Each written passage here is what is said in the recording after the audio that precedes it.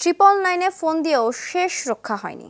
পুলিশের সামনে দেশীয় অস্ত্র নিয়ে কাফরুলের একটি বাড়িতে হামলা চালিয়েছে দুর্বৃত্তরা। চাপাতি দিয়ে কোপানো হয়েছে বাড়ির সদস্যদের। এমনটাই অভিযোগ বাড়ির মালিক ও ভাড়াটিয়ার। তবে অভিযোগ অস্বীকার করেছে পুলিশ। তাদের দাবি ট্রিপল নাইনে ফোন পেয়ে ঘটনাস্থলে গেলেও দুর্বৃত্তরা সংখ্যায় বেশি হওয়ায় পরবর্তীতে প্রস্তুতি নিয়ে ঘটনাস্থলে যান তারা। আয়তুল্লাহ মানিকের ক্যামেরায় সুমন তানভীরের প্রতিবেদন। আমি কিছু টাকা পাঠিয়ে দিচ্ছি। শার্টটা কিনে নিস ভাই। ও ভাইয়া এখন থেকে দেশে টাকা পাঠালে নগদেই পাঠান শুক্রবার সন্ধ্যায় রাজধানী কাফরুলের একটি বাড়িতে এভাবেই দুর্বৃত্তরা গুলি চালায় বলে অভিযোগ পাওয়া গেছে। হামলার একদিন পরও চিহ্ন রয়ে গেছে বাড়িতে। মূল দরজায় উপর্যুপরি কোপের দাগ স্পষ্ট। দেশীয় অস্ত্র দিয়ে লণ্ডভণ্ড করে দেওয়া হয়েছে বাড়ির আসবাবপত্র থেকে শুরু করে দরজা জানালা। গত শুক্রবার ছেলের সঙ্গে রাস্তায় তুচ্ছ ঘটনাকে কেন্দ্র করে এমন তাণ্ডব বলে জানায় বাড়ির মালিক। হঠাৎ নামাজ দেখে দৌড়াইছি আমি দরজা লাগাইছি। প্রথমে একটা লাগাইছি, তারপর দেখলাম যে খুব মানে কুবাকুবি করতেছে, তখন এটা লাগাইছি, ওইটা লাগাইছি, লাগাই আমি এবার দাঁড়াইছিলাম। তখন বললাম যে, বাসায় কেউ নাই, আমি একা আমি একা, তোমরা যেই হো তোমরা এরকম চিল্লাইতেছি, কোনো লাভ নেই। খুব বাইরেইতেছে এমনি তাকাই দেখি যে ওদিক দিয়ে আবার ধুমধাম শুরু হয়েছে মানে বৃষ্টির মতো। ছাড় পায়নি বাড়ির ভাড়াটিয়ারাও। রুদ্ধশ্বাস আতঙ্কের ওই এক ঘণ্টা কারও কেটেছে দরজা জানালা বন্ধ করে অনেকের আবার শেষ রক্ষা হয়নি। দরজা ভেঙেই তাণ্ডব চালায় দুর্বৃত্তরা। হঠাৎ করে ইফতারের আগে দিয়ে গুলির আওয়াজ পাওয়া গেছে বেশ কিছু।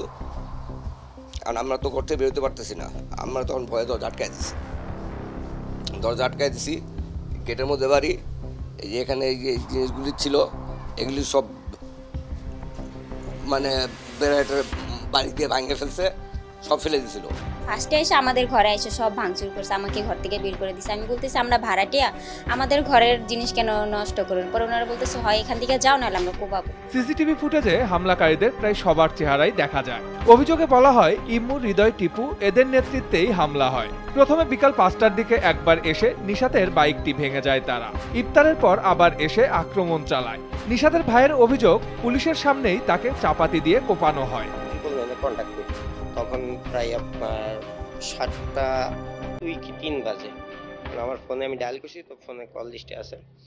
তো ঠিক পাঁচ সাত মিনিট পরে একটা পুলিশের গাড়ি আসলো। আইসাই উনি খুব রুট ব্যবহার বেশ ছিল না। পুলিশ ড্রেস ছিল, বেশ ছিল না।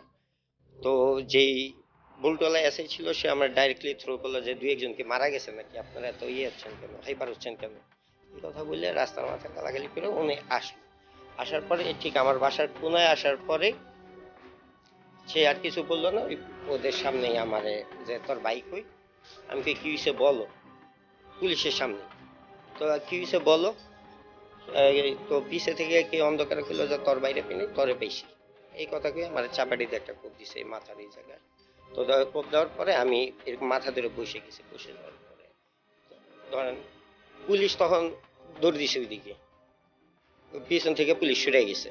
ট্রিপল নাইনে ফোন পেয়ে যে এসআই ঘটনাস্থলে গিয়েছিলেন তার খোঁজে কাফরুল থানায় যায় আর টিভি সে সময় তাকে না পেয়ে কথা হয় ফোনে। আমি গেলাম গিয়ে ওরা মারামারি লাগতেছে।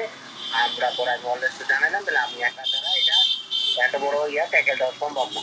পরে ওই যে তার তদন্ত তার অপারেটর তার আমাদের যারা আছে সবাই ওইখানে গিয়েছে গিয়ে পরে আমরা একটা কন্ট্রোল আসি মিরপুর বিভাগের সহকারী কমিশনার জানান, পুলিশের অপেশাদারিত্বের বিষয়টি তার জানা ছিল না। ট্রিপল নাইনের মেসেজে যখন আমাদের পুলিশ ওখানে অ্যাটেন্ড করে, তখন তো ঘটনার ব্যাপ্তি সম্পর্কে আসলে ধারণা ছিল না, বা ট্রিপল নাইনে যিনি মেসেজটা দিয়েছেন, ওভাবে ক্যারি আউট করা যায়নি। পরবর্তীতে কিন্তু আমাদের প্রত্যেকটা মোবাইল পার্টি, ওই কাফরুল থানাতে যতগুলো মোবাইল পার্টি আছে প্রত্যেকটা পার্টি ঘটনাস্থলে গিয়েছে এবং পরিস্থিতি সার্বিক নিয়ন্ত্রণে আনার চেষ্টা করেছে। পুলিশের পেশাদারিত্বের বিষয়ে যে প্রশ্নটা আপনি করলেন বা আপনার কাছে যারা অভিযোগ করেছে, এই বিষয়টা আমাদের কাছে আনুষ্ঠানিকভাবে কেউ এখনও পর্যন্ত করে নাই। আর আমিও আসলে ইনফ্যাক্ট আপনার সাথে কথা বলি প্রথম এই বিষয়টা সম্পর্কে অবগত হলাম। যদি- এই ধরনের কিছু হয়ে থাকে, অবশ্যই আমরা এই বিষয়ে তদন্ত করে ব্যবস্থা নেব। এমন বিষয় শুধু থানার ভারপ্রাপ্ত কর্মকর্তা নয় ঊর্ধ্বতন কর্মকর্তাদের সঙ্গে যোগাযোগ করারও পরামর্শ দেন এই পুলিশ কর্মকর্তা। সেই সঙ্গে দ্রুত অপরাধীদের গ্রেপ্তার করারও আশ্বাস দেন। Suman Tanvir, R TV, Dhaka.